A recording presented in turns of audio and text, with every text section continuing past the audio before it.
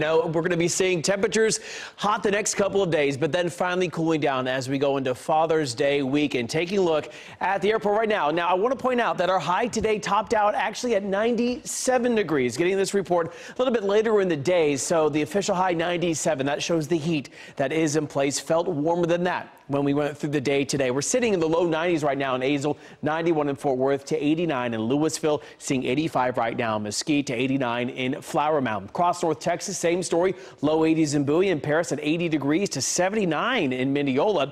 Our temperatures through the remainder of the night tonight under mostly clear skies will dip down to about 77 degrees with a south wind holding on near 5 to 10. For tomorrow, temperatures will climb their way back up to 97, maybe even 98 in a couple of spots with south winds around 10 to 15 miles per hour. That humidity also creeping back up. The reason we're warming up is this ridge of high pressure is kind of building its way on overhead. So this bubble of warmth will be here for us going into tomorrow, going into Friday, but then going into Saturday and Sunday, it continues the eastward progression into the Ohio River Valley, starts to break down. But as that works its way east, it opens up the door for the Gulf moisture to start streaming its way here into North Texas. So right now down in the West Caribbean, we do have some thunderstorm activity trying to come together just a little bit more and work its way towards the northwest. So over the next five days, this area of thunderstorm activity has about a 20% chance of developing into a tropical system. So we'll keep our eyes on that, especially in the south and west sides of the Gulf of Mexico. So we'll keep our eyes on that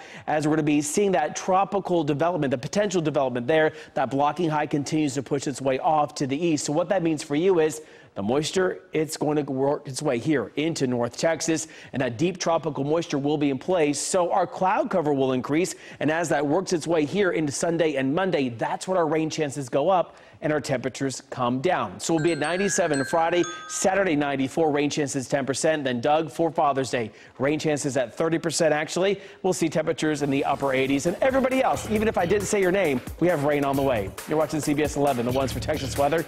We'll be right back.